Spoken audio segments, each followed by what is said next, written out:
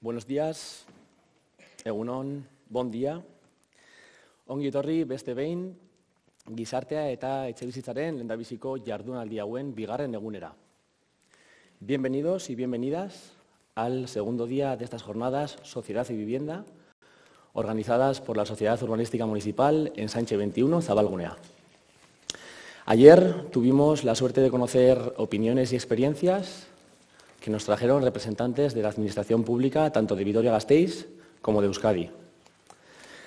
Hoy, en cambio, la jornada se centrará en conocer y dar visibilidad al eje central de esta jornada, la vivienda colaborativa, al igual que ayer, pero también desde otras ciudades como Barcelona, donde ya han dado pasos en adelante en esta materia, y también contaremos con ejemplos desde la iniciativa privada. Conocer retos, oportunidades y dentro de esta andadura a qué se han enfrentado con respecto a la vivienda colaborativa.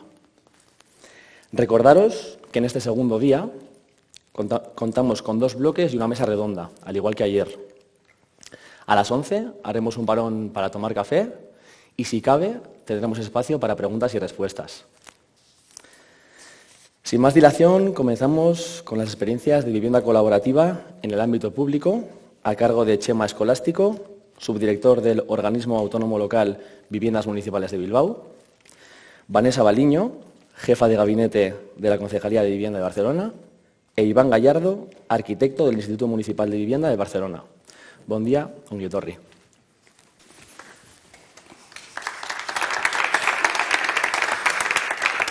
Egunon, Danorik. Bueno, es primera hora, yo todavía estoy despertando, esta es mi hora del café.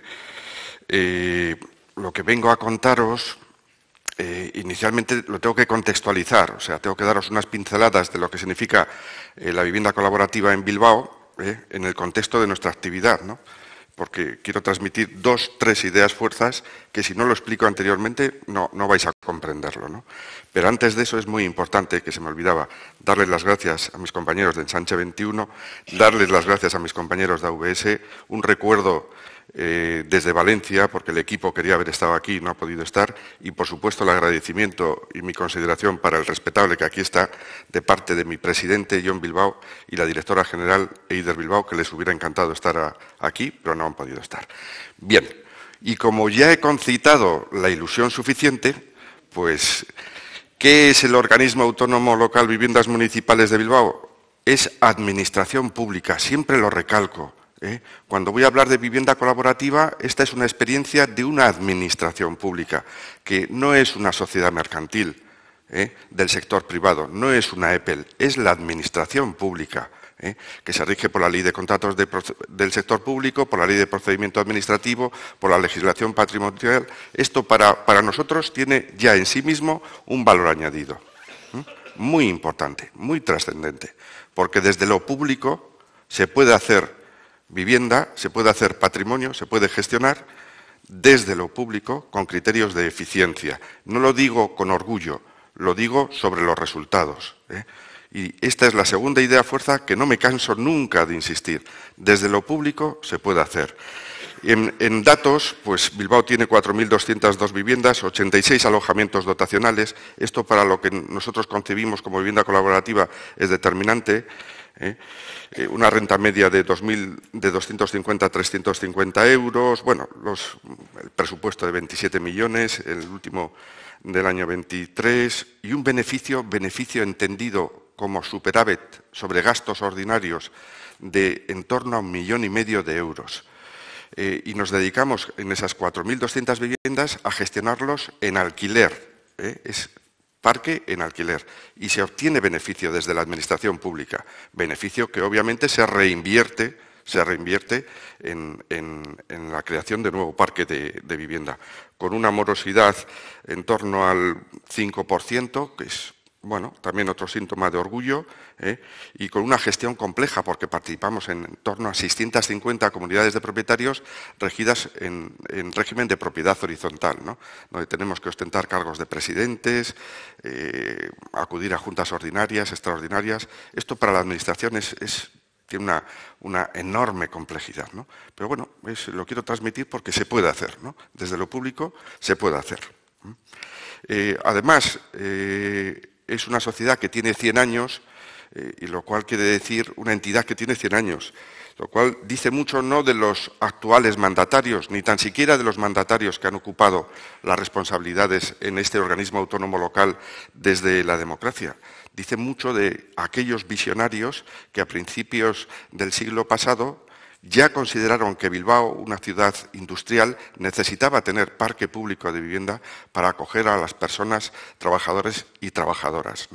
Y el milagro, a mí me parece un milagro actualmente, en el contexto actual, de que durante 100 años, cualquiera que hayan sido los regímenes políticos, los mandatarios, eh, Bilbao ha tenido una visión clara de que tenía que tener un parque de vivienda social. Y esto a mí me parece vivienda pública, vivienda gestionada y estructural, una actuación estructural, no es de ahora, ¿eh? es de hace 100 años. Y esa es la clave del éxito. Y entonces eso ha significado también que el parque de vivienda en Bilbao pues, esté disperso por todos los, barrios, y eso da mucha riqueza de mixtura social. Es una de las claves de la eficiencia. Siempre se ha tenido claro que no teníamos que hacer vivienda social en un barrio determinado solo, sino que tenía que estar disperso en todos los barrios. Y eso, bueno, nos da el dato, que lo digo con orgullo, pero sobre todo por ejemplificarlo, cuando tengo que comentarlo, de que se puede, eh, de que el ratio de viviendas por número de habitantes en capitales de, eh, en ciudades, en grandes ciudades, pues es del mayor ratio de vivienda por número de, habitantes. ¿eh? Y si tenemos que orientar lo que es la vivienda colaborativa, de las 10.000 personas que están inscritas en el sistema público de demandantes de vivienda Echevide, eh, pues mm, podemos sacar la conclusión de que más del 60%, más del 50% son jóvenes eh, y son singles. Este es un dato muy relevante de cómo ha cambiado la, fisonomía de, la demanda de vivienda. La inmensa mayoría eh, son jóvenes, son singles y aspiran a ocupar un recurso residencial. Por eso la vivienda colaborativa nos llama a que, en primer lugar, a que tenemos que atender a esa nueva forma de demanda de vivienda. Y teniendo en consideración vivienda colaborativa, la idea central que voy a transmitir, y es que hay un patrimonio, patrimonio, hay unas personas que demandan y que entre ese patrimonio y esas personas, casarlas, Casarlo significa optimizar al máximo el recurso público y las capacidades de las personas. Y esta optimización, ¿qué significa? Que ya no nos vale el sorteo, por ejemplo, para adjudicar una vivienda. ¿eh? Ya no nos vale el sorteo. Tenemos que ir a programas donde, en este caso, la vivienda colaborativa dé un valor añadido a ese patrimonio. ¿eh? Un valor de regeneración de barrio, un valor de regeneración social, un valor de intergeneracional, un valor cooperativo desde lo público. Cuando gestionamos el parque, tenemos que centrarnos en obtener el máximo valor de las personas que van a usar y disfrutar ese parque. Y esa es la idea colaborativa central de lo que estamos haciendo en los últimos programas, que estamos sacando. Teniendo presente además que, ojo, no podemos, eh, hablemos de vivienda colaborativa, co-housing, co-living, dentro de un régimen de tenencia, dentro de un régimen subjetivo o personal. Bueno, no vamos a entrar en esa macrofotografía de lo que es la, vivienda colaborativa. Ya sabemos todos que hay cientos de regímenes, cientos de opciones, cientos de oportunidades. Y lo vemos como algo positivo que sea así. Pero ojo, en nuestro sistema competencial hay otros sistemas de vivienda colaborativa que dependen de otras áreas o departamentos y hay que tener cierta precaución a la hora de gestionar para no solapar esos nichos de actividad. En concreto, bueno, pues los servicios sociales también tienen residencias, ¿eh? tienen pisos comunitarios, tienen eh, albergues.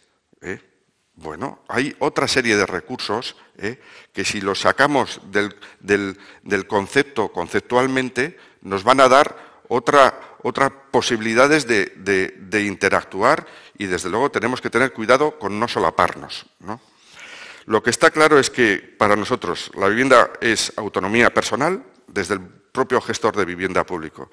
Es recurso residencial que ofrezca autonomía personal, que, ofrezca espacios comunes, que el régimen de tenencia va a ser siempre el de alquiler, porque nosotros solo ofrecemos producto desde la vivienda pública en Bilbao en alquiler, solo producto en alquiler, y que la clave determinante va a ser el modelo de, convivencia.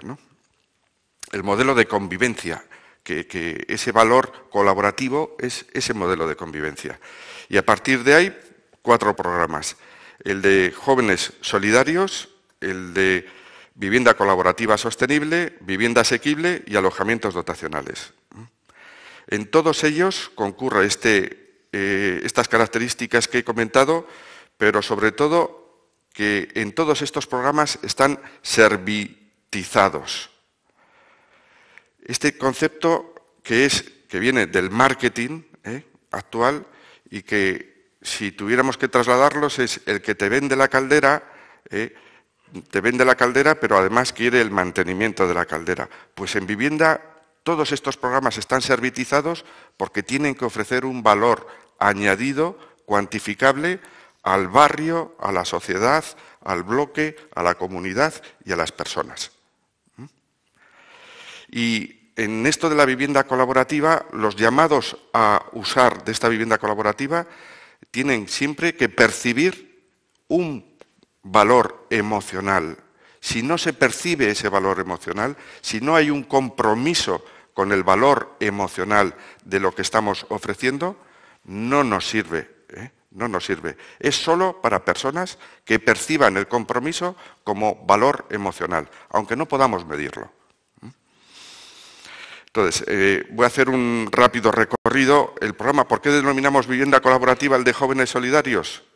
Bueno, eh, eh, con las universidades, todas las universidades que están implantadas en Bilbao, tenemos un convenio para cederles pisos compartidos en lugares estratégicos de la ciudad, en dos barrios principalmente, Ocharcoaga y Bilbao la Vieja, que son los barrios más deteriorados, por así decirlo, para que nos entendamos, y en comunidades con un fuerte componente de ausencia de convivencia.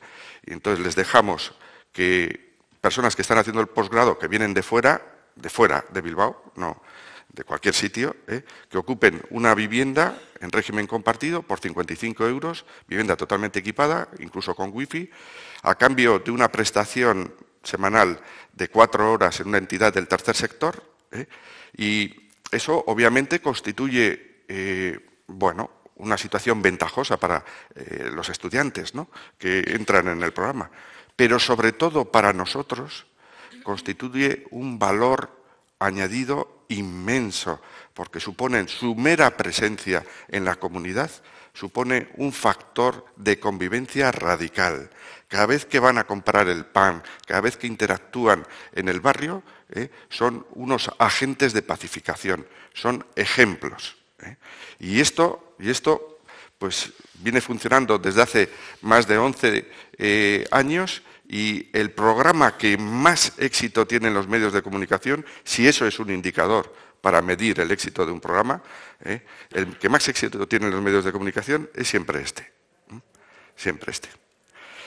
Los alojamientos dotacionales. Poco puedo añadir porque ya todo el mundo conoce lo que son los alojamientos dotacionales, pero desde esa idea inicial de lo que supone en un, eh, suelo equipamentar la construcción de un alojamiento, un recurso residencial que no podemos llamar vivienda por su propia naturaleza jurídica, lo que hemos tratado en los últimos que, hemos edificado, que son 66 alojamientos en, en, Amézola, establecer eh, tres cupos de jóvenes mayores y un cupo de vulnerabilidad social en convenio con Acción Social, y esos alojamientos que tienen unas dimensiones máximas de 45 metros cuadrados y con servicios comunes, hacerlos intergeneracionales. El valor colaborativo es que conviven personas autónomas eh, no dependientes con jóvenes y con personas vulnerables. Y en la idea de que comparten espacios, lavandería, Choco, Choco, eh, sabéis, el Choco, sala de estudio, sala de, Internet, que comparten espacios y conviven. ¿no? Y esta es la modalidad colaborativa eh, presente y la que más futuro va a tener en, el modelo de Bilbao, ¿no? porque probablemente, probablemente, eh, dependerá también de los próximos dirigentes, pero el, el modelo de promoción de vivienda está agotado y vamos a un modelo más vinculado a alojamiento dotacional, a itinerarios vitales y a situaciones puntuales de personas. Y bueno, además, el valor añadido de esta vivienda colaborativa es que a través de un contrato restringido está gestionado por una empresa de inclusión social, en este caso la Antegui Batuac, y, eso pues le da otro valor añadido, porque genera empleo. Es un motor, ¿no? un motor eh, en todos los sentidos, de las personas, con ese valor emocional y de convivencia sobre los espacios comunes, de la gestión y, del huerto urbano que tiene en, la última planta, que, se la están autogestionando ellos. La idea es de autogestión de los espacios, ¿no?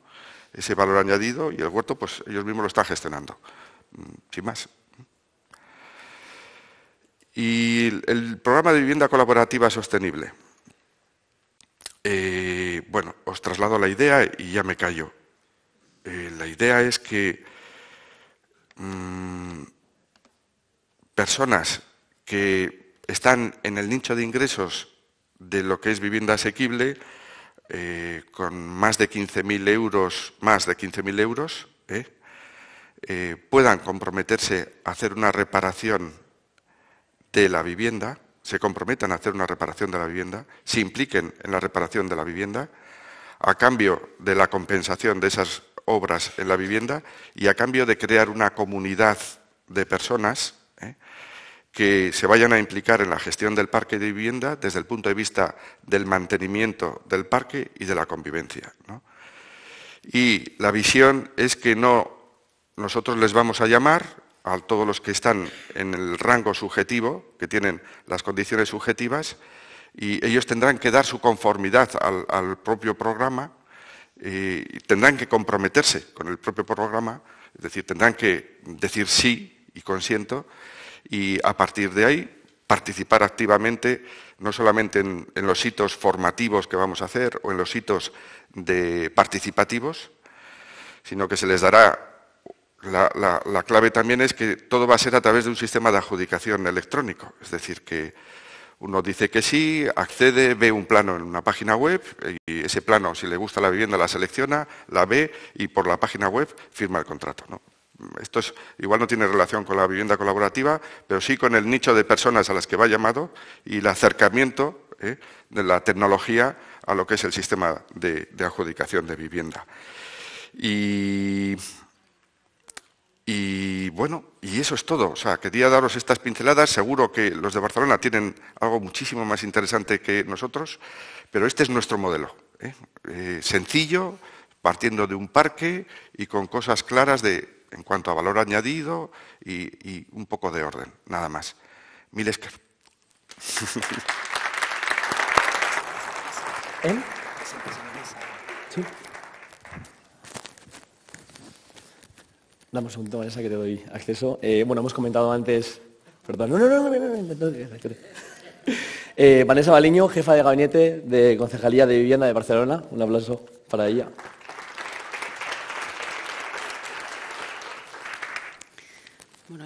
Eh, buenos días.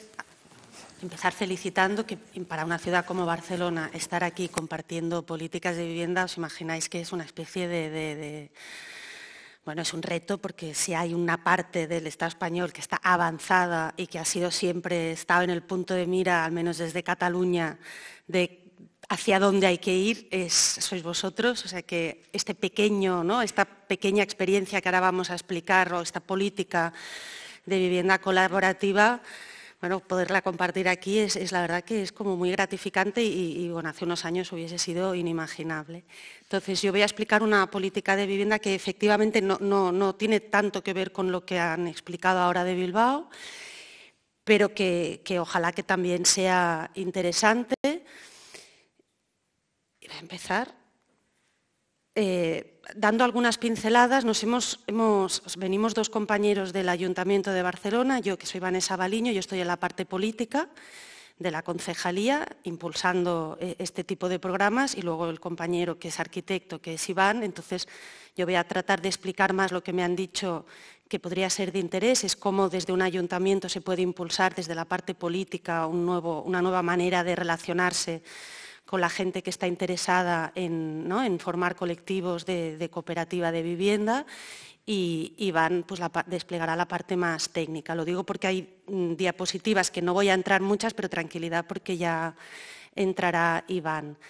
Entonces, yo, lo que queríamos un poco explicar es que lo que vamos ahora a compartir es una experiencia de trabajo de los últimos ocho años.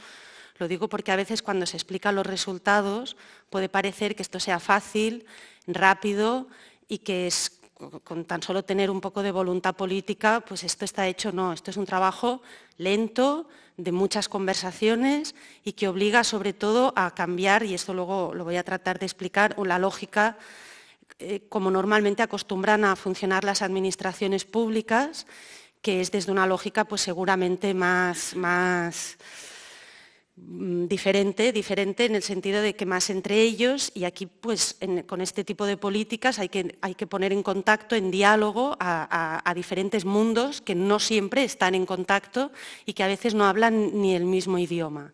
Entonces, en el caso de Barcelona, yo creo que una, una clave del éxito ha sido que teníamos un plan y el plan se elaboró de manera muy participativa entonces, en este plan ya existía de manera muy incipiente en 2015, pero ya había un tejido social organizado que estaba exigiendo, que estaba reivindicando un cambio eh, en la política de vivienda y en especial en la política de vivienda de vivienda cooperativa. Nosotros, no sé muy bien, pero me imagino que no, es tan distinto. Nosotros veníamos de unas cooperativas de vivienda vinculadas a los sindicatos mayoritarios y a las asociaciones de vecinos, donde la parte cooperativa era la, parte de la producción de la vivienda, pero luego, una vez ya se había construido la vivienda y tocaba ocupar la vivienda, eh, desaparecía la cooperativa y entraba la propiedad privada. Entonces, esta era la, política de vivienda cooperativa mayoritaria en la ciudad en 2015, con unos sindicatos muy fuertes que tenían sus propias cooperativas de vivienda en régimen de propiedad privada, con las asociaciones de vecinos tradicionales también impulsando este tipo de vivienda y que se desplegaba a través de convenios privados con el Ayuntamiento de Barcelona. Entonces tú tenías, ¿no? pues los sindicatos, cada uno por su parte negociaba su convenio de colaboración, de transmisión de suelo y, ellos se comprometían en este convenio a unos objetivos de vivienda y el, ayuntamiento a una dotación de suelos que luego además se privatizaban. Estos suelos eh, eran suelos públicos que se convertían en suelos de uso bueno, en suelos privados. ¿no? Entonces, había que dar un cambio y se pudo hacer, como digo, porque había un tejido social que estaba con muchas ganas de, hacer ese cambio y el marco, como el, espacio de trabajo de, esta nueva política, es esta foto que es muy bonita, eh, porque había que darle como mucha honorabilidad al espacio de participación de la ciudad, que es este Consejo Asesor de Vivienda. Nosotros le llamamos Consell eh, de l'Habitatge Social, el Consejo de la Vivienda Social, que reúne a los diferentes sectores que están implicados en la vivienda, desde los eh, colegios profesionales, que en nuestro mm, país tienen mucha fuerza, pues los arquitectos, los abogados, eh, los diferentes colegios profesionales, los sindicatos mayoritarios, eh, la banca, que es importante, Mm, para, acceder al crédito, mm, las propias eh, mm, concejales que están involucrados en la vivienda. Bueno, este es un espacio de participación que en el 2015 ya decidimos, esto hay que impulsarlo, esto hay que hacer que sea el espacio, pero claro, como es tan grande y tan formal, eh, había que compartir ese espacio que es como de, socializar en, un espacio más operativo que pudiese ir desarrollando el mandato, los mandatos que iban saliendo de ese plan por el derecho a la vivienda y que se compartían en el Consell de l'Habitatge Social. Entonces, por eso esta otra foto, que es el como eh, Grupo Asesor de Vivienda Colaborativa o Taula de Habitatge Cooperatiu, que es la mesa de vivienda colaborativa, que estaba, ya en 2015 se decide ¿no? crear este espacio de trabajo y fue de, vital que estuviese integrado por, lo que os decía, estos sindicatos que tenían experiencia en construir vivienda, pero con otra fórmula, con otra lógica, pero tenían experiencia en construir vivienda y son actores que, en, nuestra ciudad tienen mucho peso. Entonces, ellos estaban también en, este, este, esta tabla de habitacha cooperativo. Estaba también la banca ética y cooperativa, para que finalmente luego tenían que, facilitar el acceso al crédito. Estaban los, los distintos departamentos que están vinculados con la vivienda dentro del, ayuntamiento, que eh, son muchos, muy diversos y todos muy importantes, que es pues, desde el ámbito de licencias, una gente que es fundamental y que normalmente no están, pero sin ellos luego no, salen los proyectos, pero sin licencia no hay proyecto. La gente de patrimonio, que son los que tienen que ceder el suelo, que también estuviesen allí y empezasen a, escuchar de este nuevo modelo. Bueno, las distintas áreas que están vinculadas con la vivienda y que normalmente están muy invisibilizadas, en la ciudad, pero que son fundamentales, imprescindibles estos funcionarios que estén, que conozcan, que se sientan cómodos, porque finalmente son ellos los que firman los expedientes. Yo siempre lo digo, yo a mí me encanta explicar la vivienda colaborativa, es una de las políticas con las que nos sentimos más, más, mm, bueno, más cómodas y, y más a gusto y más satisfechas, pero yo no firmo expedientes. Quien firma los expedientes, todos, cualquiera, de cesión de suelo, de acceso al crédito, son, los funcionarios públicos y ellos no forman parte de alguna manera de estas conversaciones, luego le pones un expediente, pues evidentemente, pues no, pues no, porque no lo conocen, no entienden y no han podido expresar las dudas que les puede plantear esta nueva manera de hacer política. Entonces, eh, este grupo, esta taula de vivienda cooperativa fundamental, a la par que el Consejo, que va de alguna manera durante los primeros años, ahora lo vamos a ver, tratando primero de hablar el mismo idioma, administración, colectivos, eh, los, más, los, de antes, los nuevos, bueno, compartir una especie de lenguaje, sobre todo eh, con, el objetivo en ese momento, durante los primeros años, de estos eh, dos proyectos que nosotros le hablamos de proyectos piloto, que son, a lo mejor uno de ellos es muy conocido, pero es muy importante que entendáis que no es el único, que afortunadamente ha sido un proyecto piloto, que es el de la borda, que es el de la foto, que lo que ha sido, bueno, ya veréis, es precioso, pero yo creo que el principal valor de la borda no es solo que arquitectónicamente y que todo es una maravilla, sino que ha impulsado, nos ha obligado, nos ha llevado a, a, hacer muchísimas más cooperativas por toda la ciudad. Bueno, estos dos proyectos piloto, que sí que se trabajan en el marco de un convenio privado, es decir, una colaboración, una cesión de suelo entre el ayuntamiento con cada uno de los dos proyectos, este que es la borda y otro que es de rehabilitación, ¿no? Bueno, Barcelona, os lo imagináis, ¿no? O sea, no tiene nada que ver con, Vitoria, es otra cosa, una ciudad muy densa, con mucha especulación, mucha presión urbanística, es todo muy tenso, eh, y entonces no, no, o sea, hay que aprovechar también todos los edificios que ya existen y que hay que rehabilitar, eh, y entonces, bueno, pues la, vivienda colaborativa no solo es el reto de, empezarla desde cero, desde solares, sino también que sirva para rehabilitar edificios antiguos que el ayuntamiento o ya, de los que ya disponemos o que se han comprado. Entonces, uno de los pilotos es la borda, que es nueva, y la otra es eh, en una, eh, rehabilitar un edificio. Yo creo que esto también, junto a la tabla de habitacha cooperativo, junto a este espacio pequeño de contacto, de que todo el mundo esté ahí y nos hablemos y nos pongamos cara, estos dos pilotos fueron como la, ensayo y error. ¿no? Tú tienes ahí dos pilotos en un ayuntamiento que es enorme, pero con estos dos pilotos podíamos empezar a, experimentar en la práctica cómo nos gustaría que fuese este modelo de vivienda cooperativa. Es importante decir que los dos pilotos están impulsados por dos organizaciones que han sido como punteras, es decir, que era gente que tenía muy claro lo que quería y era un nuevo modelo de vivienda cooperativa, no especulativa y, hecha un poco, bueno, que fuese un poco como autotutela del propio derecho a la vivienda. Eh, estos dos pilotos se empiezan a trabajar, todo es muy lento en nuestro ayuntamiento, es, un ayuntamiento muy grande con mucha normativa, me imagino que igual que aquí, pero no sé si tanto. Eh, y entonces, a la par que íbamos trabajando los pilotos, en esta tabla de vivienda, en esta mesa de vivienda cooperativa, se iba construyendo, y eso fue el objeto de trabajo de cuatro años, Porque aquel que diga, no, esto es rápido, no, no, esto no es rápido, esto es muy despacio porque hay que hablar mucho y escuchar mucho. Entonces, en, este primer mandato, ¿no? que fue el mandato anterior, en el del 2015 al 2019, imagínate esta mesa de vivienda cooperativa lo que se dedica es a construir, a trabajar dos licitaciones públicas de, suelo, es decir, el ayuntamiento ofrecía suelo a la ciudad en, un concurso público para desarrollar los proyectos piloto. Normalmente, ¿qué hubiese hecho el ayuntamiento? Bueno, pues si tengo suelo, hago una licitación, la saco y que se presente y que gane el mejor. No, porque lo que había que construir es que esta licitación, de alguna manera, eh, respondiese a, a, los objetivos. Entonces, por ejemplo, para que nos entendamos, y luego a lo mejor Iván concreta más, quién decide qué es el mejor proyecto, cómo se puntúa el mejor proyecto teniendo en cuenta estos nuevos criterios de que no sea especulativo, de que esté vinculado al territorio, de que, de que sea una comunidad diversa. Bueno, pues había que construir todas unas nuevas bases.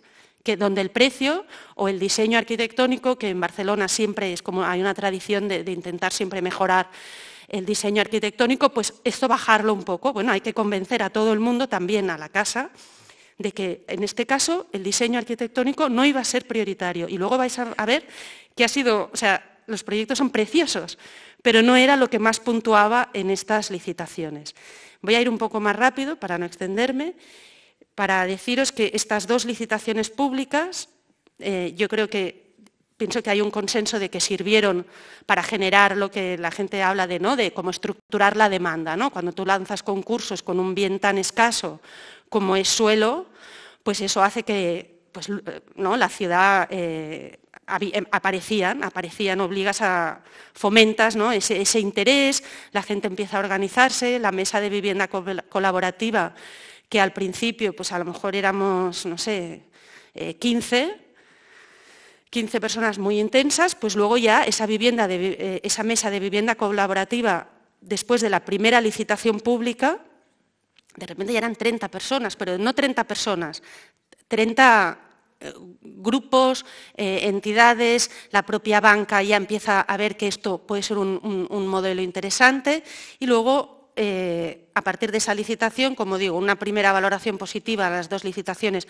es que generas ahí un movimiento, la gente habla, la empieza a organizarse, quieren acceder al suelo, etcétera, etcétera, pero también un riesgo, aunque se intentó minimizar, en estos concursos públicos es que tú introduces una lógica de competencia eh, en un sector que, es colaborativo, que se define como cooperativo, colaborativo. O sea que, bueno, e, e, eso fue un, bueno, como un impacto no querido de la licitación pública que obligas a competir a un sector que no, que no trabaja desde esa lógica y entonces ahora estamos pero sin esto hubiese sido imposible llegar. También quiero decir, porque hay veces que cuando uno explica lo que ha hecho, uno puede intentar como, bueno, pues vamos por la directa, vamos directamente. No, porque sin las licitaciones, sin ese trabajo de construir juntos ¿no? la base de la licitación, hubiese sido muy difícil saber cuál era el modelo. No tenemos ley, no tenemos ese marco propio que nos ayudase y había que, había que construirlo. Y la licitación fue como la excusa para construir este marco normativo de qué entendíamos por vivienda colaborativa en, la ciudad. Y yo creo que la gracia de Barcelona es que a veces lo que hace Barcelona pues, va más allá de Barcelona y tiene un impacto en Cataluña. Entonces, a falta de ley, pues al menos tienes ahí este, este marco que sale de la licitación, que ha sido construido de manera colectiva. Y ahora el momento actual, luego ya podemos hablar, para superar las dos licitaciones, para superar esa lógica de competencia que incluso generó algún recurso judicial en, relación a la decisión que tomó el jurado, aunque fue un jurado participado por las propias, por, distintos colectivos, pero bueno, para evitar ese desgaste de la competencia, este convenio de colaboración, que es donde estamos ahora, donde el reto es que son las propias el reto es que el ayuntamiento, en un espacio de trabajo más pequeño, porque claro, a medida que iba creciendo la tabla de habitatge cooperativo, esa cosa que era útil, que es el debate, la cosa más en pequeño, si se hace muy grande no es tan fácil. Y también, eh, entonces lo que se decidió es que en este convenio eh, de colaboración fuesen las representantes y aquí está bien porque veo que está la red de economía social y solidaria, que fuesen las redes que representan a los distintos eh, grupos de vivienda colaborativa de la ciudad, fuesen los que formasen parte del convenio, de tal manera que así cualquier grupo que aparece en la ciudad eh, tenga como el interés, la motivación también de articularse en un, espacio más amplio que en nuestro caso pues es la Federación de Cooperativas de Vivienda y la Red de Economía Social y Solidaria. Porque otra cosa que me he olvidado de decir es que la mesa de vivienda colaborativa, para darle el valor político que queríamos darle desde el ayuntamiento, estaba presidida por la concejal de vivienda y el que es el comisionado de Economía Social y Solidaria, porque desde un principio se tuvo clarísimo que nuestro marco de política de vivienda tiene que ver con, evidentemente, ¿no? pues el acceso a la vivienda, pero también generar una nueva economía social, sostenible, etcétera, etcétera. Ahora ya voy a ir un poco más rápido porque vamos a entrar en la parte técnica y luego eso lo desarrollará y voy a ir un poco solo para que tengáis imágenes y cuatro conceptos que para nosotros han sido como lo que pensamos que debería guiar eh, cualquier política de vivienda colaborativa. Esta es una de las primeras mesas, que aquí, como veis, éramos 15, a lo mejor no llegábamos ni a 15, entonces permitía pues, un debate muy, muy, cercano y, muy intenso sobre cómo construir estas licitaciones públicas. Luego, esta es la entrega de llaves. Estamos hablando, al menos en la ciudad de Barcelona, de un sector muy organizado y que quiere eh, hacer las políticas de otra manera y que quiere que se le escuche y entonces ellos pues, tuvieron también que decidir cómo se iban a hacer las entregas de llaves. En nuestra ciudad la entrega de llaves es un momento, ¿no? como es un recurso público, es suelo, etcétera, es un momento que acostumbra a ser muy protocolario, donde viene la, alcaldesa y una cosa así. Ellos dicen, y la alcaldesa da las llaves, ¿no? Ellos dijeron, no, no, no, aquí nadie nos da las llaves, hacemos una gran llave y esa llave es la llave que nos damos todos, incluso hay grupos que son los grupos los que te dan la llave a ti como administración pública, como un ejemplo de, que, esta experiencia nos ha obligado a todas a repensar la manera de funcionar tradicional del ayuntamiento, que por ejemplo hubiese sido que va al alcalde o la alcaldesa o la concejal y da la llave, ¿no? Y entonces ellos, no, no. Entonces aquí es esta llave, este es otro momento muy simbólico, ¿no? Que es esta cooperativa, la primera la borda, cuando empiezan. Eh, los elementos claves, que el, eh, que, el, suelo nunca deje de ser público, los criterios que tienen que cumplir las personas que quieren acceder.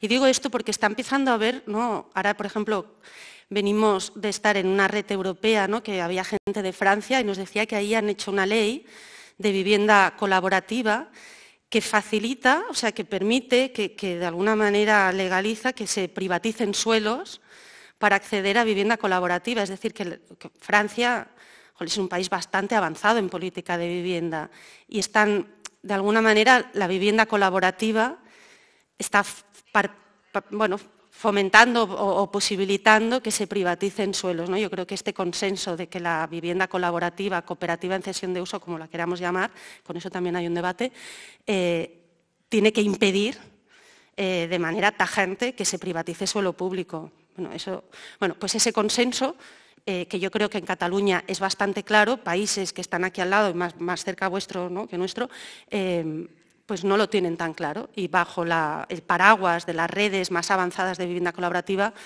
eh, hay ayuntamientos que están desprendiéndose de suelo, vendiéndolo para facilitar. entonces ellas, cada una, ¿no? Pues aquí es contra la especulación, ¿no? El lema que ellas escogieron. Estos son algunas imágenes, otro las respuestas frente a la crisis climática. Esto ahora parece como que es lo normal, pero en el 2015-2016 en Barcelona no era un tema que estuviese tan presente en la agenda, seguramente porque normalmente la Administración va un poco más para atrás. En cambio, aquí ellas desde un primer momento, las cooperativas tenían clarísimo que había que innovar, que había que usar otros materiales, otras técnicas constructivas. Y, bueno, y ahora son punteras y están siendo un ejemplo al propio al propio operador municipal de otras maneras de construir, porque ellas, por ejemplo, este es uno de los edificios eh, más altos que hubo en madera, pues bueno, de repente el Instituto Municipal de la Vivienda, eh, eh, ¿qué pasa? No? Ahora vienen las cooperativas y están haciendo edificios de seis plantas de madera y nosotros pensando, bueno, pues esta, experiencia, donde además ellas tienen muchos arquitectos y arquitectas jóvenes que creen tanto más que ellas en el modelo, también está siendo ¿no? un, espolea a la propia administración a, innovar en métodos. Está, bueno, las fotos famosas de, la borda, ¿no? estos nuevos modelos de convivencia, nueva arquitectura, el convenio, aquí no voy a entrar. Otro reto era que la vivienda colaborativa, cooperativa en cesión de uso, cohabitacha, eh, llegase a los distintos barrios de la ciudad. Había un peligro, y eso pasó en la primera licitación, de que solo los barrios más politizados, más mm, movimentistas, como en nuestro caso, por ejemplo, podría ser el, distrito, el barrio donde está la cooperativa de la Borda, pues que la vivienda cooperativa fuese eh, vivienda cooperativa en cesión de uso fuese como una especie de experimento para los barrios em, de clase media, media económicamente, pero alta intelectualmente y, que no llegase a todos los barrios. Yo creo que mm, poco a poco se está consiguiendo que también en los barrios populares se entienda lo que es la propiedad colectiva, la cesión de uso, la autogestión y eso nos tranquiliza porque si no, pues no tiene tanto sentido ¿no? invertir recursos públicos en una política que no, es, que no está llegando a, toda la ciudad y especialmente donde más se necesita. Y ahora ya, como para ir acabando, cuáles pensamos que, y también para el debate, para compartir, cuáles serían los retos que, después de estos ocho años y estas casi, casi 500 viviendas, algunas ya con gente habitando y muchas en proceso de, construcción o de, firmar el derecho de superficie, ¿cuáles son los retos? La asequibilidad, el tema económico, ese es uno de los retos. Claro, si tú haces una vivienda fantástica, maravillosa, pero las cuotas de entrada eh, están muy lejos de la capacidad adquisitiva de la población del territorio, bueno, pues está muy bien, pero, pero no acabas de, hacer, pero claro, ceder suelo público a, proyectos que no son universalizables o generalizables económicamente, pues eso tiene, hay que hacer ahí, hay que hacer un esfuerzo y más ahora con toda la subida de precios de los materiales, etc. Entonces, hemos aprobado algunas medidas, pero bueno, este es un debate. Que sean abiertos y diversos, mm, uno de los retos, y esto también se compartió en esta jornada que estuvimos en toda Europa, es que, claro, e, este tipo de vivienda, en la medida en que tú necesitas pues, toda una filosofía, mucho tiempo libre, porque son muy asamblearias, muchas, muchas reuniones, pues ese nuevo lenguaje ¿no? totalmente contraintuitivo respecto a la lógica actual, que es el compartir, eh, la no especulación, bueno, pues eso necesita mucha, mucha capacidad y mucho tiempo y muchos recursos también intelectuales y entonces, eh, pues a lo mejor un reto allí es que estas comunidades, estas 500 viviendas que ahora empiezan ya a ver en Barcelona, pues que también sean una expresión de la sociedad en la que están, que en la ciudad de Barcelona tenemos un 20% de población migrante, donde tenemos gravísimos problemas de racismo inmobiliario. Bueno, no, es para trasladarles a ellas todo el peso, sino cómo desde la Administración conseguimos todos estas, estos objetivos eh, que sea una política estructural, esto también lo decía el compañero de Bilbao, ¿no? decir, bueno, está muy bien, pero que esto se convierta no, en una, gracia del, gobierno de turno, sino que forme, que sea una, bueno, como, como, cualquier, como las ayudas al pago del alquiler, que ningún gobierno se plantearía acabar con las ayudas al pago del alquiler, pero ahora tenemos que conseguir, y ya son casi que ni se conocen, pero son muchos millones los que se dedican a las ayudas al pago del alquiler, y está muy bien que se haga así, eh, pero que la política de vivienda colaborativa, cooperativa, etcétera, también forme parte de esas medidas estructurales que no dependan del gobierno que toque. No significa que el gobierno no le pueda dar un aire diferente, pero que, esté allí y que nadie se lo cuestione. y, el último reto, esto lo hemos añadido últimamente es que sea una influencia positiva más allá de la propia comunidad. A veces la sensación que puede dar es que tú generes ahí unas comunidades, ¿no? una arquitectura, esto que le llaman del passive house, la madera, eh, construcción en seco, comunidades, ¿cómo se dice esto? Una arquitectura no jerárquica, o sea, que ahí hagas un experimento impresionante que tenga todos los premios de la Bauhaus, de toda la cosa, y que se nutra mucho dentro del propio colectivo de vivienda cooperativa, todos esos esfuerzos, todas estas mejores, pero que eso no impacte en el resto eh, de la ciudad, empezando por el propio parque público. O sea, ¿cómo va a ser que tú tengas vivienda pública, porque la vivienda colaborativa en Barcelona es vivienda pública, porque el suelo nunca deje de ser público, que no hagas como distintos niveles de vivienda de primera y de segunda y de tercera, ¿no? Como estas experiencias eh, de vivienda son una influencia positiva no solo para la propia comunidad, para los propios, de alguna manera, ¿no? los, que han conseguido acceder a este modelo, sino para toda la política de vivienda de la ciudad, para cómo se gestiona el propio parque público, porque si hacemos tanta participación en el colaborativo, ¿por qué no intentar también organizar a los inquilinos e inquilinas que viven en el parque público, que seguro que tienen muchas cosas que decirnos y que, y que tendrían también que poder estar en los espacios de decisión?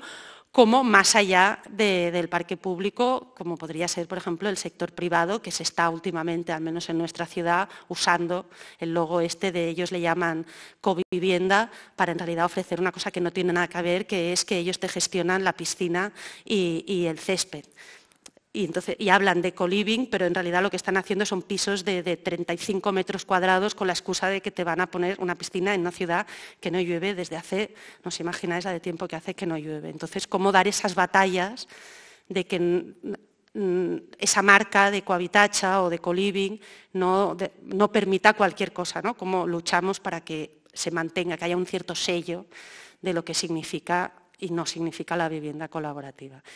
Y bueno, y esto era para agradeceros la atención.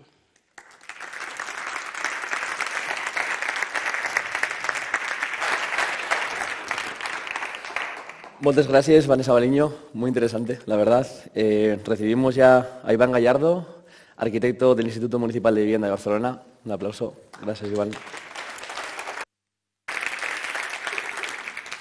Ah, muchas gracias, me han presentado ya. Yo agradecer a, a Ensanche 21 en particular y en, general a la ciudad de Vitoria que, nos hemos sentido muy, muy acogidos y con mucho cariño. Yo, ah, como Vanessa ha explicado, yo creo que bastante muy bien el modelo. Eh, lo que voy a centrarme solamente es en explicar un poco más en detalle eh, y para que se entienda bien cómo es exactamente el modelo y un poco, un poco las cuestiones urbanísticas que seguramente a lo mejor vamos a intentar dar respuesta a algunos temas que ayer salieron, a ver si lo conseguimos.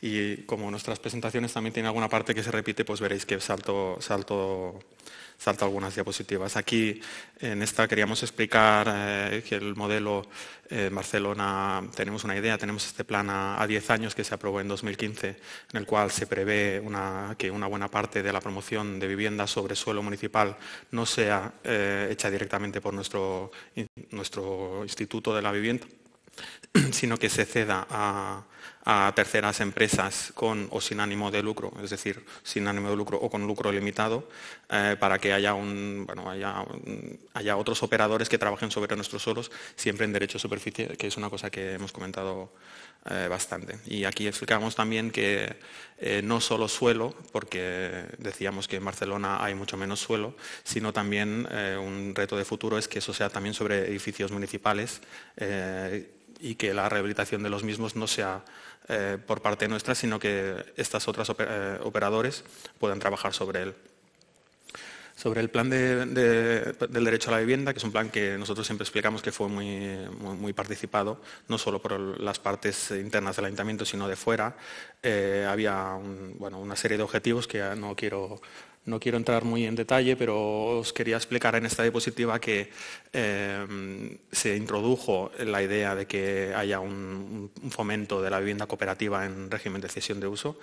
Eh, y, en ese momento se hablaba de unas pruebas piloto. ¿eh? Había un objetivo a 10 años de 500 viviendas, 535 viviendas acabadas y eso era solo el 3% del objetivo total. No, ahora voy a pasar a esta, que es una diapositiva en la que hacemos un poco balance. A, medio, a medio, a medio, en el primer quinquenio se hizo un balance y eh, hay, programas que han funcionado mejor, otros, peor. El programa de vivienda cooperativa ha tirado adelante, estamos cumpliendo los objetivos y bueno, es una cosa de la que nos gusta explicar, ¿eh? que parecía de los más complicados en realidad, con todas las dificultades sigue adelante y hay gente viviendo ya en, esas, viviendas, ahora lo, explicaré con un poco más de detalle. Sobre los objetivos ya los hemos comentado, básicamente eh, mantener la propiedad del suelo y en general todo lo demás que veis aquí, la idea de que haya ah, el empoderamiento de los usuarios de la vivienda, no que sea el, ayuntamiento o el Instituto Municipal de Vivienda que pone viviendas para la gente, sino que la gente puede participar en la co-creación de estas viviendas, incluso en la construcción, etc. Eh, aquí sí que me paro un poquito más para explicar exactamente cómo funciona el modelo Barcelona. Alguien, el compañero de Bilbao, recuerdo, recuerdo el nombre, comentaba que hay muchos modelos, efectivamente, y en Barcelona, pues junto en el trabajo que se ha hecho con las, entidades, eh, se ha llegado a este modelo que es el que nosotros estamos eh, potenciando. Todo va variando, pero hay una espina dorsal que es esta que explicaré ahora. El ayuntamiento otorga el derecho a superficie de un suelo o de un edificio municipal. Inicialmente era por 75 años ampliables a 90, ahora estamos dándolo ya directamente a 99 años. Eh, eh, y esta, adjudicación se ha hecho mediante esos tres tipos que hemos explicado antes. ¿eh? Primero, concesión directa, porque la ley catalana de, vivienda permite esa concesión directa a entidades sociales, después concursos y después el convenio. luego llegaremos la cooperativa eh, se constituye y construye el edificio a su cuenta de riesgo. Es decir, que aquí es una política impulsada por el ayuntamiento sobre suelo municipal, pero a diferencia de las de Bilbao, aquí lo que es es una iniciativa ya privada una vez tienen el suelo. ¿eh? Tienen que conseguir el crédito, les damos ayudas, tienen que eh, constituirse en una empresa promotora y es una complicación que tienen y que hemos ido viendo que poco a poco el sector se va, se va madurando y se está consiguiendo ahora lo veréis. Eh, una vez está construido el edificio, eh, eh, la, cooperativa se mantiene durante toda la vida del, derecho de superficie. Se, no se, disuelve, sino que este derecho pertenece a la cooperativa y lo que hace la cooperativa es ceder el uso de las viviendas a cambio de una cuota mensual a los usuarios de la cooperativa. Eh, ese sistema hace que las viviendas no puedan ser vendidas individualmente, sí que hay un derecho de, herencia de una primera generación en caso de que haya un fallecimiento, pero lo, que se promueve es que no haya ventas individuales de las viviendas. ¿eh? Es un sistema anti, especulativo. Eh, nosotros pedíamos al principio que haya criterios de retorno social, mm, económico en el barrio, que haya temas medioambientales que estén incluidos en los edificios eso lo pedíamos, mm, lo pedíamos sobre todo en los concursos, eran criterios que se valoraban. Ha pasado ya que prácticamente esos criterios no hace falta que la Administración los pida, sino que las propias, las propias entidades cooperativas están proponiéndoslo y ahora, ahora mismo son, están dentro del modelo. tampoco voy a entrar mucho más en detalle y lo que pasa al final del modelo teórico, cuando acaba el, derecho de superficie, eh, aunque el suelo siempre ha sido municipal, todo lo que es el vuelo, lo edificio construido, vuelve a la propiedad municipal. Es decir, que la cooperativa eh, pierde esos derechos al cabo de 99 años. Veremos qué pasa, pero el modelo teórico para que funcione es así. Em, sobre los requisitos que pedimos. esto nosotros estamos haciendo este, este, programa sobre suelos municipales calificados de vivienda de, protección oficial. Y respondiendo un poco, ayer se hablaba si esto es... Eh, eh, si es eh, un, alojamiento, si es equipamiento, si es vivienda. En Barcelona estamos haciendo que esto es vivienda y no hay mucha duda sobre esto. Son viviendas sobre suelo residencial, calificadas de, VPO y este es un, punto clave porque todos los usuarios son demandantes de vivienda de, protección oficial que cumplen los requisitos. ¿eh? No tienen, tienen unos ingresos máximos. En Cataluña Ah, para una familia de cuatro personas son 59.000 euros de, ingresos máximos anuales, ponderados. y aquí se explica un poco. Eh, para ser miembro de la cooperativa, para entrar a una cooperativa, además de ser socio de la misma, tienes que cumplir esos requisitos. Un tema para mí importante que no ha salido mucho, que es cómo nosotros garantizamos la asequibilidad del modelo. Em, y aquí hay una, serie de puntos eh, que voy a pararme un poquito. ¿eh? El suelo eh, efectivamente es patrimonio municipal y la ley no permite regalarlo, pero lo que sí, sí hemos hecho es poner un, con toda la experiencia, ya ha habido de todo, ha habido licitaciones con precio, pero ahora lo que hacemos es fijar un precio que es 1,43 euros metro cuadrado eh, útil. Esto para una vivienda, más o menos sale que cada vivienda paga al año unos 100 euros por el suelo. Es un valor que nosotros decimos simbólico, pero que quita cualquier duda sobre el suelo y eh, se añade a las bondades eh, sociales del modelo. Es decir, es suelo municipal de vivienda y el ayuntamiento tiene un retorno económico, pero además el retorno social. Eh, el suelo es el tema más mm, candente en Barcelona. ¿eh? Allí realmente hay un problema de suelo. Cuando hacíamos las primeras reuniones de la mesa, lo que decíamos es, bueno, ¿cómo podemos ayudar? Eh, hacemos acompañamiento y tal. Unanimidad. Lo que querían era suelo. Y entonces este es, este es la clave del modelo y lo que está haciendo de elemento tractor de todo lo demás. Em, el ayuntamiento ah, concede una subvención retornable del 7% del valor del proyecto a la cooperativa. Este, además tiene una carencia de que son 25 años o, el, pago de la hipoteca. Es decir, resumiendo mucho, les damos el 7% del, valor, el sistema es subvención retornable porque como entidad municipal no podemos dar crédito, pero bueno, se ha conseguido esto con los servicios jurídicos y cuando acaban de pagar la hipoteca devuelven esta parte, es decir, que eh, permite que no sea un, elemento tan gravoso al principio este valor del 7% se incrementa al 16% en el caso de eh, promociones que son de rehabilitación, porque tienen un coste más grande, o las promociones más pequeñas. Si tienen menos de 15 viviendas, lo que damos es el 16%. Y ahora eh, lo hemos ampliado y en algunos casos más subimos del 7 al 16. Em, otro tema importante es el tema de las bonificaciones que damos. Eh, lo que sea, esto sí que es un cambio normativo, no, hay muchos, luego hablaré de eso, pero bueno, se ha cambiado, se ha hecho una excepción eh, del impuesto de construcciones de la tasa del 95% y, aún más importante, una exención del IBI del 95%, que es perpetua. Entonces, eh, esto sí que es, realmente, pues imaginaos para cada vivienda, que son mil al año, mil y pico al año, eh, hay una excepción y ahora nos lo está pidiendo todo el mundo. ¿eh? Entonces, bueno, de momento se abrió aquí y si esto crece hay que ver también con los servicios económicos si es mantenible, pero de momento está en nuestra ordenanza fiscal.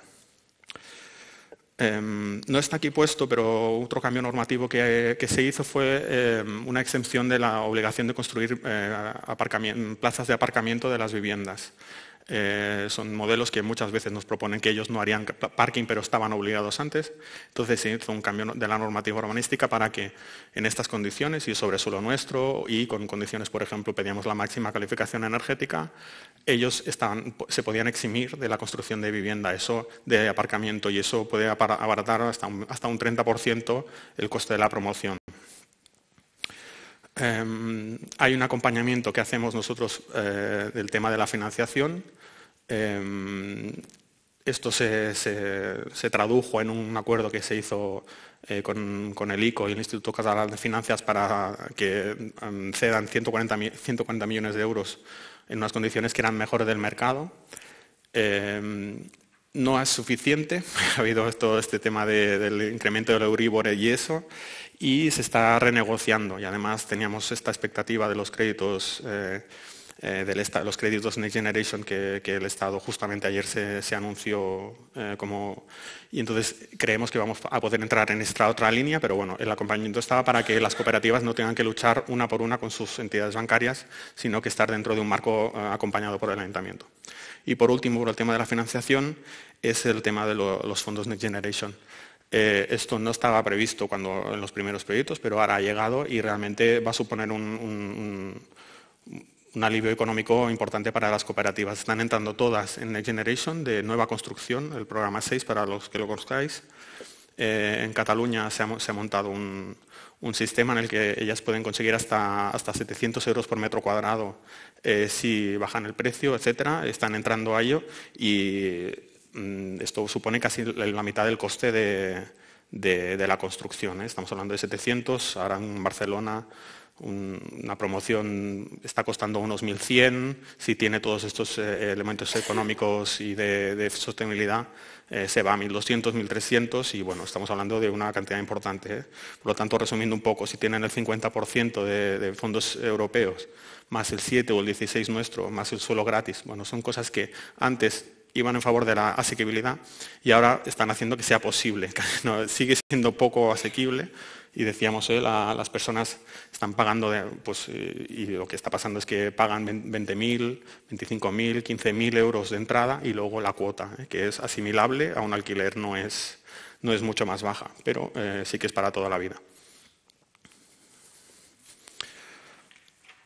Bueno, aquí explicaba el tema del, Consejo que se ha explicado antes. Eh, nosotros decíamos que es el principal órgano de gobernanza y esto sí que es un cambio para nosotros cuando hemos hecho Em, explicaciones dentro de la casa de cómo hemos hecho este órgano, porque realmente es un cambio de paradigma de cómo la administración se relaciona con, el administrado, ¿eh? no de una forma top-down que decimos, sino que realmente es coproducción de la política. Y aquí explicábamos los convenios. Simplemente voy a hacer un repaso también interesante, me parece, no hay mucha foto, pero que veáis un poco cómo son los proyectos, pues vamos a hacer un pequeñísimo repaso. ¿eh? Eh, Princesa, que es un edificio muy pequeño de, de rehabilitación, cinco viviendas. La borda, archiconocida, y están hartos de que vaya la gente a verles, tienen gente haciendo fotos, vienen de todo el mundo, eh, están pensando cómo hacerlo, ¿eh? pero bueno, sirvió muchísimo, ¿eh? porque una vez visto esto, todo el mundo entendió mejor cómo funcionaba. Antes era realmente complicado, tanto para adentro como por afuera. Cuando se hizo la primera licitación, eh, hubo unos suelos, eh, hubo cinco proyectos que, salieron, que salieron adelante, de los, de los cuales cuatro están ya construidos. Hubo unos cambios en la segunda, no voy a entrar, pero la, mesa promovió cambios en la segunda licitación para intentar reducir la competencia y el, grado de trabajo que tenían que hacer. Se hizo una licitación en dos vueltas. Aquí los dos edificios que veis, el de la izquierda es eh, la Chalmeta, de 32 viviendas construido y están hace un año y pico eh, viviendo. Eh, el de la derecha, es el que veíais antes que estaba hecho de madera, ahora ya no se ve la madera, eh, pero bueno, son, ejemplos de buena arquitectura, es decir, no, es una cosa muy mínima tal, sino que veis que hay un esfuerzo grande. El siguiente es la Balma, están desordenados aquí y no hemos entrado hoy mucho, pero eh, hay, un, esfuerzo grande de una flexibilidad interior, las viviendas son flexibles, tienen unos módulos que se, se pueden añadir a una u otra vivienda según cambian las, las, necesidades de, la cooperativa. Eh, y el siguiente es la Charchaya, que está delante del mar, es un edificio precioso, en un solar muy codiciado, que el ayuntamiento decidió, bueno, decidió que una cooperativa era, era capaz de hacerlo. Torre en Vivo empiezan obras este año, esperemos, pero bueno, también un proyecto es en la mejor zona de la ciudad y en el que el ayuntamiento decide pues, que dentro de su política una parte se ponía a este programa. Eh, de la segunda licitación hay dos proyectos que están a punto de empezar las obras. Este que veis es la regadora de 35 viviendas. Nosotros siempre estamos dentro del reparto de suelo intentamos que estos proyectos tengan pues, más o menos entre 20 y 50 viviendas. Más es un poco, es un poco complicado para ellos, menos encarece. ¿eh? Pero cuando hay suelo muy pequeño, eh, también estamos dando a cooperativas, aunque con este incremento de las ayudas que decíamos. Sotrac, otra, otra, otra promoción que no ha empezado obras aún por una cosa que os vamos a explicar y es que hay un, hay una complicación en ceder el suelo porque hay que inscribirlo y mientras nosotros trabajamos muy rápido, a veces hay otras partes de la administración o incluso de nuestra administración que cuesta ¿eh? y, esta gente están pidiéndonos poder empezar ya las obras y aún no se ha podido formalizar el derecho a superficie por un tema urbanístico. Bueno, también para explicaros un poco que no todo es, no es oro todo lo que reduce, sino que van habiendo problemas naturalmente. Aquí explicábamos el, convenio eh, que se hizo en relación, visto la madurez del sector y no voy a explicar más esta presentación, entiendo que, se podrá compartir, en todo caso por nosotros ningún problema. Y ah, bueno, la, idea también, yo creo que para acabar es eh, que mm, no es, solo, no es suficiente dar el suelo y que en estas cooperativas crezcan, sino que tenemos una idea de que a futuro se debería mm, montar algún tipo de sistema, y no sabemos cómo será aún, eh, en el cual todas estén incluidas y que una vez estén pagadas las, viviendas y empiece a haber un retorno mucho más fácil económico, imaginemos que cuando esté pagada la hipoteca, que haya algún tipo de retorno para que este sistema eh, crezca dentro de sí mismo. Es decir, que, por ejemplo, una cooperativa que ya ha pagado tenga una cuota que, vaya, que sirva para nuevas cooperativas o para que el modelo vaya creciendo. Esto aún estamos empezando a trabajarlo, pero sí que se ha puesto esta idea y en el convenio está de que cuando esté todo pagado, el 50% de los beneficios operativos de estas cooperativas que ya, ya no tendrán tanta carga, eh, vaya a un tipo de fondo eh, de ese tipo. Estos son los suelos de, la, vivienda cooperativa del convenio. Y ha habido mm, explicar un tema que salió ayer de eh, los seniors y de las entidades con discapacidad ah, intelectual. Eh, dentro este, de, esta aportación de suelos, nosotros damos mucha libertad para que se presenten, pero había eh, cooperativas muy especiales en las cuales no les encajaba bien el modelo de vivienda protegida. sobre todo, vamos a hablar de la gente mayor que tienen, por ejemplo, ya otra vivienda y no les encajaba. Entonces se buscaron suelos no de VPO, sino de vivienda libre, en el cual se aportaron para que para que estos sistemas puedan florecer y de momento tenemos una, entidad cansetanta que, que empezará, tiene licencia ya para empezar las obras este año. Mapita de cómo queda, lo, habéis visto antes. Y aquí la idea de, que hemos aportado 18 suelos ya para este programa en diferentes fases y que en total son para 450 viviendas. ¿eh? La idea es crecer y el objetivo es, eran 400 eh, del convenio SAL y unas 500 al principio. Vamos a unas 900 y creemos que lo vamos a conseguir porque el, objetivo a 10 años empieza desde que se firmó el convenio en, en 2020. Y ya está, esto era lo que yo quería comentaros hoy.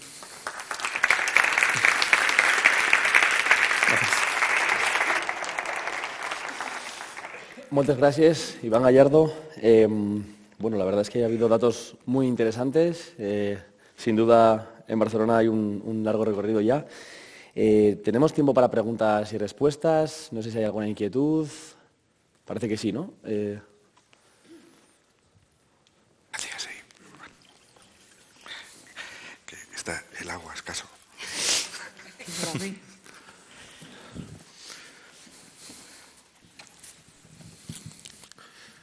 Buenos días, muchas gracias por la presentación, tanto por parte de Bilbao como de Barcelona, pero a mí tengo muchísimas dudas. ¿no?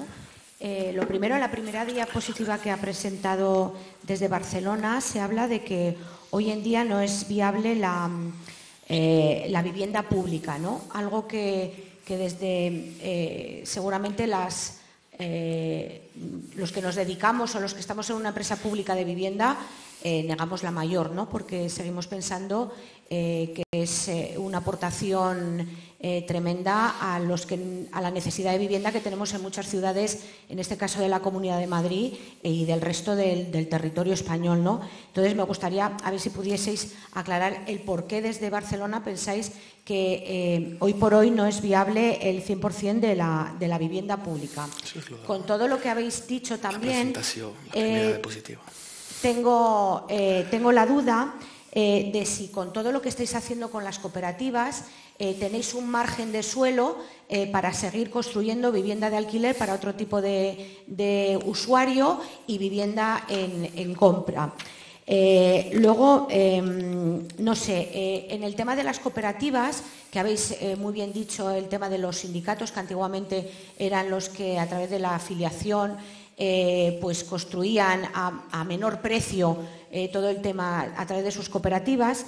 Eh, si una vez que habéis cedido el suelo por proyectos, em, al final las cooperativas también funcionan con promotoras y luego tienen que adjudicar ellas mismas, según habéis dicho vosotros, las obras. ¿no? si no os ha pasado o tenéis previsto que pase primero las quiebras en muchas constructoras que hemos visto durante largo tiempo en este país y segundo, si estas constructoras o estas promotoras se pueden eh, ser lobbies de presión a la hora a las propias cooperativas o, que haya eh, constructoras indecentes que también puedan meter eh, la mano en esas cooperativas. Por ejemplo, fíjate, se me ocurre que haga unas viviendas ferrovial, ¿no? Por ejemplo, que se dedica también a la construcción. me parece que es también interesante ya que es un recorrido eh, público, un recorrido que es beneficioso, pues que tengamos, o, si habéis previsto, que, se tenga cuidado con, esta. Porque me recuerda también un poco, ¿no?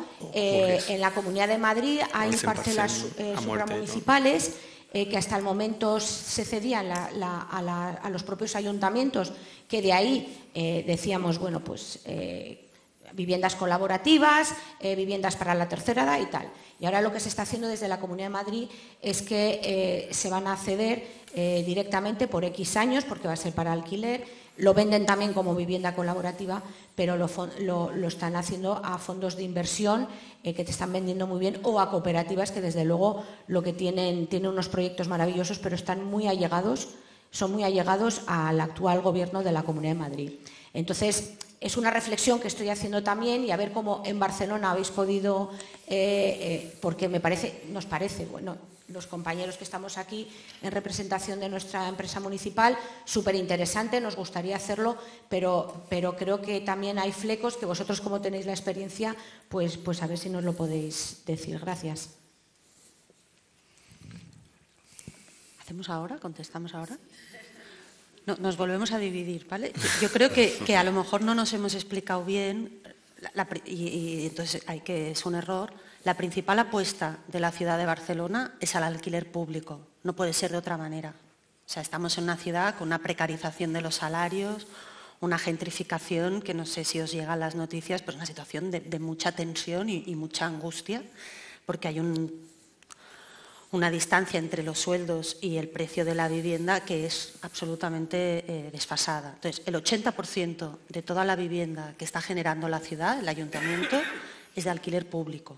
Lo que pasa es que tenemos una ciudad, cada uno tiene su ciudad, que es una ciudad muy viva, muy autoorganizada, luego me imagino que desde la Argentina pues, también lo pondrán en valor, y que está constantemente repensándose a sí misma, que cuando tú estás haciendo una cosa ya te piden más y cuando tú estás haciendo más quieren el, doble y está bien y eso, esas energías hay que canalizarlas porque es una manera también de que el propio Instituto Municipal de la Vivienda, lo que yo os decía, por ejemplo, el Instituto Municipal de la Vivienda, eh, durante muchos años la madera sí, pero no, bueno, pues gracias a, estas, a estos ejercicios que se están haciendo desde la vivienda eh, cooperativa o de autogestión o como queramos llamarla, pues están generando también cambios en la propia concepción constructiva o de diseño arquitectónico del propio eh, ayuntamiento. Quiero decir que nunca, y eso sería un gran error y a veces nos ha generado problemas en el plenario municipal, que se entienda que es que Barcelona ahora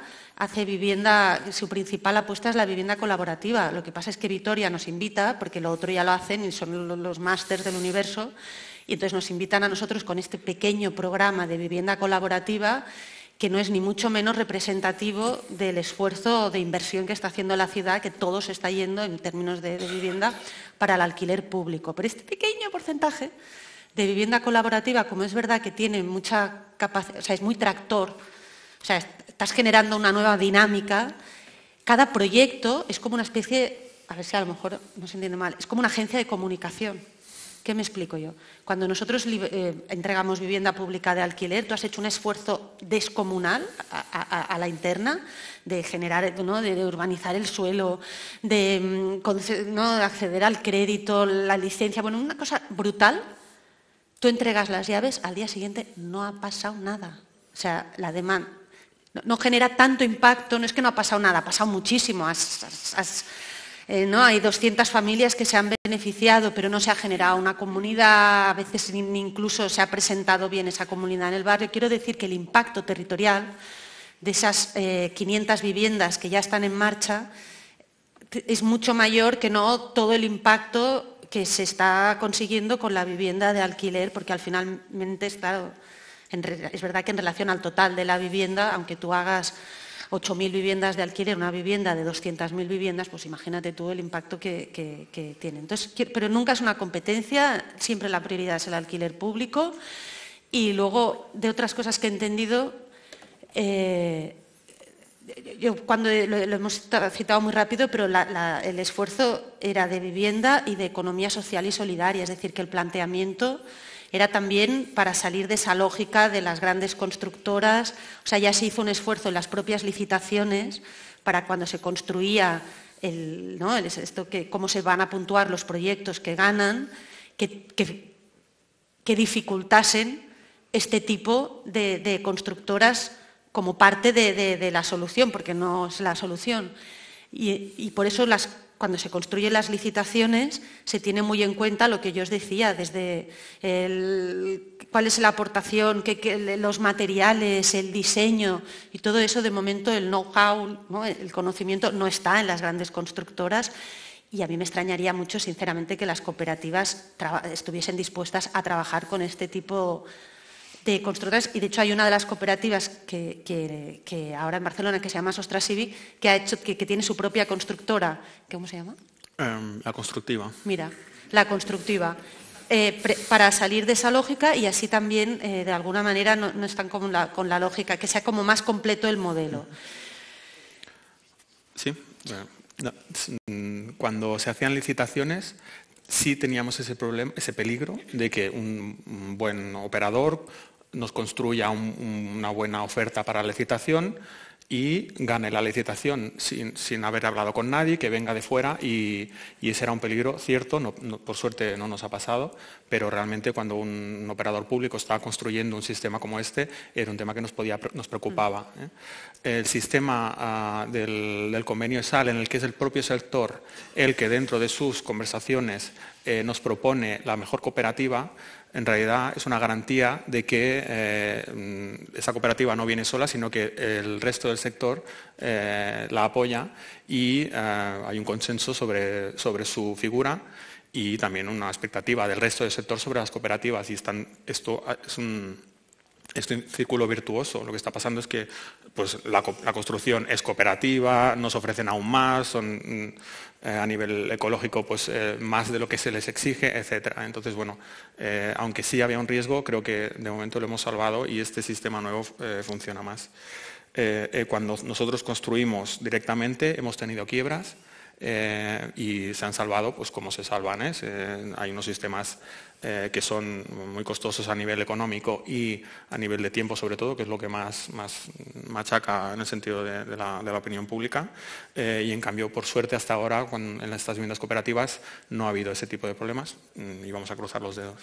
Una, cosa que no hemos explicado con Iván es que, por ejemplo, para acceder al crédito en propiedad colectiva, pues claro, imagínate los bancos cuando habla Primero que, aunque nunca se fueron a todos los bancos, siempre se fue a un tipo de banca, cuando hablabas de la propiedad colectiva generaba mucha inseguridad y entonces se construyó en esa mesa de vivienda colaborativa una garantía municipal, que significa que en caso de cinco impagos, esto ha sido un, tema, no sé qué, pensarán los compañeros de la Dinamo y me interesa porque, claro, eh, cuando para acceder al crédito pues había muchas dudas y, como no había seguridad, pedían, los bancos pedían que hubiese esta garantía para facilitarles. Entonces, claro, se construye esta garantía municipal eh, como un aval, a partir del cual, en caso de cinco impagos, es el propio ayuntamiento el que, sea, el que asume la deuda, porque si no, imagínate, hubiese sido, el banco se hubiese convertido en el propietario de esa cooperativa.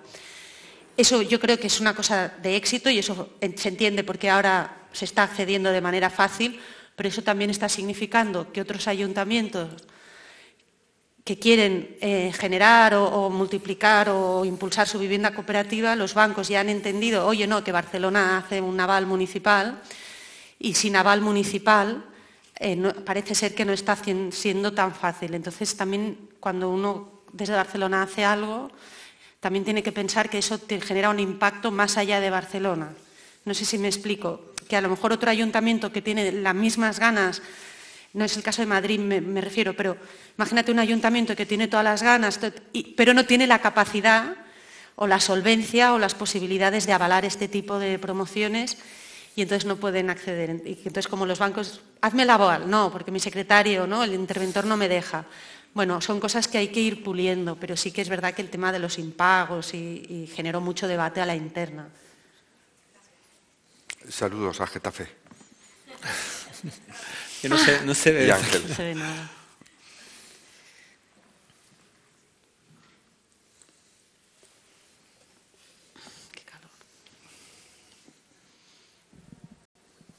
Eh, yo quería una aclaración sobre los modelos que nos habéis presentado porque has hablado continuamente de vivienda cooperativa. Y efectivamente eh, entiendo, y los modelos que, he visto, que hemos visto construidos, Eh, quería saber si, aparte de la gestión cooperativa, que al tener una propiedad del suelo en cesión de uso, por lo tanto la cooperativa se mantiene en el tiempo para gestionar, para gestionarse, si los modelos de vida tienen algo mm, complementario de, colaborativo. Quito el ejemplo de la borda, que quizás es el más conocido por todos los demás, pero en el resto de modelos, arquitectónicamente, no sé, mm, da la sensación de, ser unas viviendas muy estándares. ¿no? Por eso pregunto, ¿existe vida colaborativa también en esos otros modelos? Hemos de traer otras fotos. Sí. no, es verdad, yo también lo he pensado, porque es verdad que ¿no?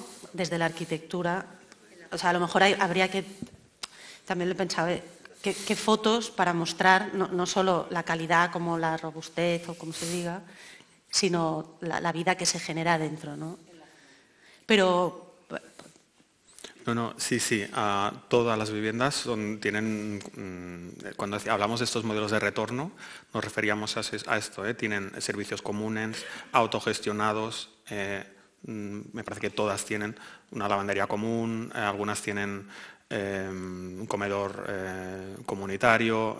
no quiero hacer ahora una explicación. Hay algunas que, por ejemplo, cuando eran concurso eh, y no es muy, no es muy bien ¿eh? pero nos, por ejemplo, para que veáis, nos proponían que de 22 viviendas, dos iban a ser para el sector social, para gente con mayor necesidad. ¿eh? No ha pasado aún que un, proyecto de vivienda, de vivienda, de este tipo de cooperativas venga que son solo las viviendas. Todas tienen em, nosotros dentro del convenio, una cosa que hemos añadido es que eh, una vez eh, empiezan la licencia de obras y eh, después de seis meses de firmar el, derecho de superficie, nos tienen que aportar su plan colaborativo, que es a 99 años, en el cual ellos nos explican cómo van a vivir dentro de la cooperativa, nos, aportan sus estatutos para nosotros ver cómo se van a organizar y también nos explican cómo van a abrir al barrio o a la ciudad su proyecto. Hay algunos que tienen, por ejemplo, el Cohousing Senior tiene una unidad de curas que es interna, en la cual ellos... De pues, De, cuidado, de cuidado así he dicho curas, que es catalán, eh, de cuidados y ellos eh, van a tener que abrirlo al barrio. ¿eh? Y eso nosotros no nos ponemos mucho, pero desde luego vamos a hacer un seguimiento de que eso se continúe, continúe pasando. No, hemos hecho mucho énfasis en esto, pero desde luego aquí, allí le llamamos cohabitacha y eso incluye vivienda cooperativa en régimen de cesión de uso, pero en realidad también incluye todo lo demás, ¿eh? el, modelo de vivienda coparticipada y eh, de gestión comunitaria. Pero a lo mejor es uno de los retos, ¿eh? es decir, porque es verdad que ahora es un movimiento muy, con mucho impulso, con mucha fuerza, muy, muy voluntarista, muy sensibilizado pero es contraintuitivo con la sociedad en la que estamos, es decir, están haciendo un esfuerzo como de resistencia para no caer en una lógica quiero decir que vamos a ver cómo estamos de aquí 10 años y seguramente vamos a tener que desarrollar como herramientas de, yo no diría de seguimiento, pero de, contacto, porque ahora estamos poniendo tanto esfuerzo en que surjan y que aparezcan y luego yo espero que cuando ya haya tantísimos, ya estemos más como en, ¿y ahora qué hacemos? O sea, ahora que ya estáis cómo funciona y poder también hacer más, más énfasis en, experiencias de la... Bueno, todo el mundo dicen que es complicadísimo. O sea, yo no vivo en un cohousing, pero que luego el día a día es muy, difícil. Y entonces seguramente de aquí a unos años estaremos hablando ya de, sistematizar la resolución de conflictos, de convivencia, eh, los intergeneracionales, los generacionales. ojalá, ojalá, o sea, mira, muy bien. O sea, eso debería ser el reto ¿no? de aquí a unos años ya estar hablando de cómo hacemos que ese esfuerzo comunitario continúe.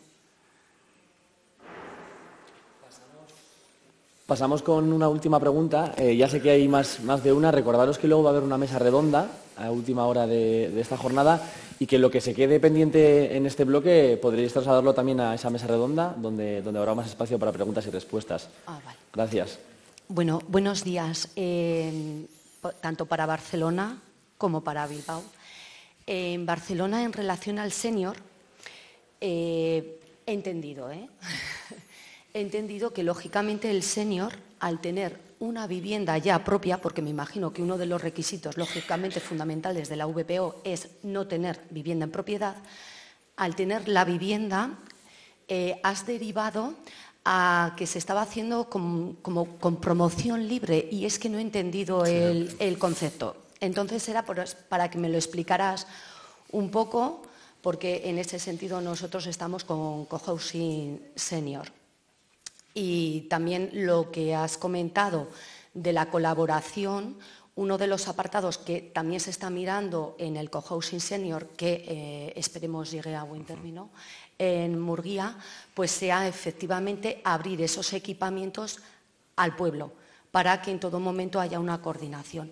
Y en relación a Bilbao, eh, como no he oído eh, la palabra senior, pues que está lógicamente todo muy bien, el tema de la juventud y demás, saber si hay algún apartado en el cual, que me imagino que sí, que estéis haciéndolo. Hágale igual que en Vitoria, que está iniciándose.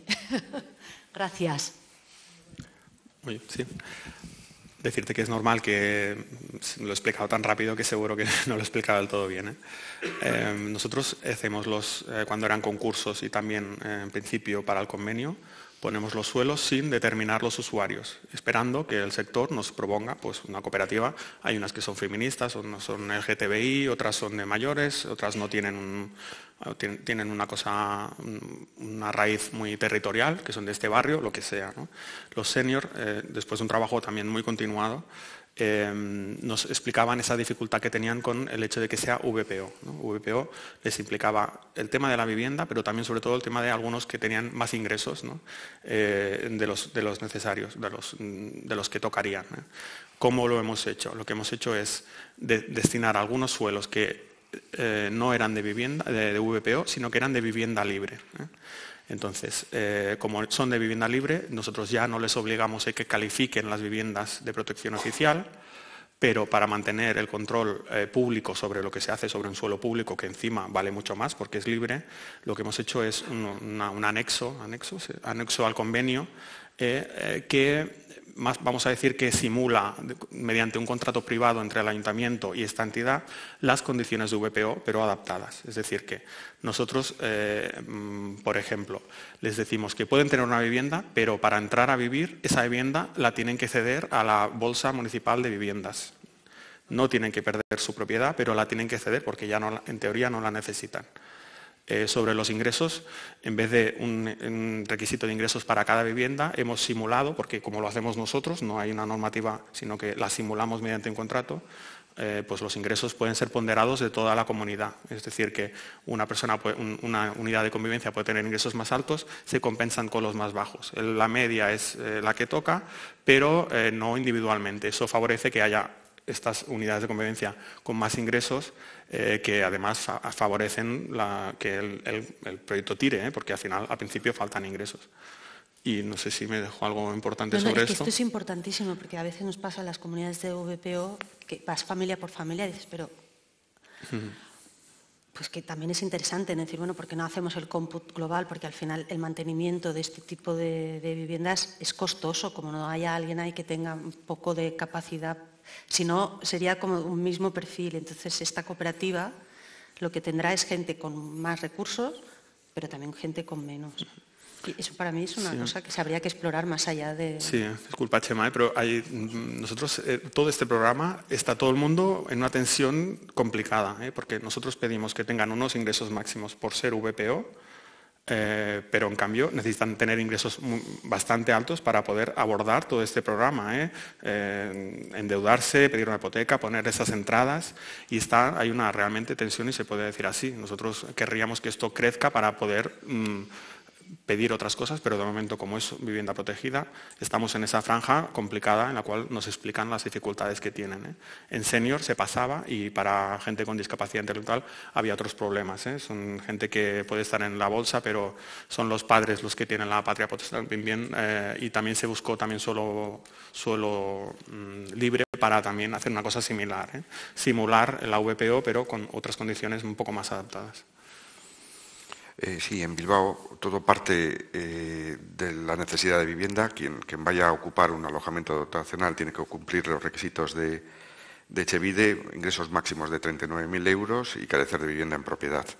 Y estamos priorizando un tercio de los alojamientos dotacionales va para personas mayores de 65 años y, los próximos alojamientos dotacionales y todo lo que vaya en términos de colaborativos, estamos priorizando las personas mayores porque de la demanda, creo recordar, hablo de memoria, me puedo equivocar poco, pero de las 9.000 personas inscritas hay unas 450 que tienen más de 65 años. Por lo tanto, estamos en términos de aquí a tres años de adjudicar, eh, de reducir esa demanda en torno a un 25%. O sea que es una prioridad absoluta. Y siempre en términos de intergeneracionalidad, de forma que se mezclan con jóvenes y con personas vulnerables. ¿no? Para luchar contra la soledad, para compartir, es un modelo de vida de compartir espacios y, de apoyo mutuo. Este de los seniors, algún día una jornada específica, porque siempre es como un interés, ¿no? ¿por qué senior? ¿Por qué no intergeneracional? ¿no? A mí, por ejemplo, te genera esta duda, pero ahora no es el momento. Pero me parece que es otro tema muy interesante. ¿no? Sí, sí. Desde, lo, desde lo público, desde luego, nunca van a ser exclusivamente seniors. ¿Eh? Por eso yo hacía la diferencia con, hay otra serie de recursos residenciales que dependen de otras áreas, acción social y demás, mucho más específicos, también pueden tener el rango colaborativos, pero que se separan de, la visión que ya tenemos desde lo público, en cualquier sitio, ¿eh? en cualquier parte. Pero las nuestras quieren que sea senior, ¿eh?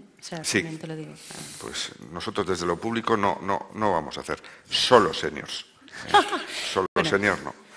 Y solamente quería decir una cosa. Habéis comprobado que en Bilbao somos muy simples. O sea, vamos a ver a Leti, subimos a Begoña y vamos al Choco. es que nuestro es Sota Caballo Rey. No, no, no tiene ninguna complejidad. Bueno, nuestro gerente es de Bilbao, ¿eh? que lo, lo conozco sobradamente. Pero no te equivoques, Javier es de mi pueblo, que es de Basauri. No, por eso es cuando, has dicho aquí no va a haber, digo, es que nuestro gerente es igual, pero luego Barcelona es muy compleja y te acabas haciendo lo eso es, eso Bueno, pues con este interesante debate, con todas estas ideas que han salido, muchas gracias, es que ricasco, por vuestras opiniones. Aprovechamos este momento para hacer pausa para el café en la sala Mirador. Volvemos a las once y media, se nos ha ido un poquito la hora, pero bueno, once y media estamos de vuelta y seguimos, habrá mesa redonda, habrá espacio para preguntas y respuestas y parece además que va a haber ganas, o sea que, que aproveche.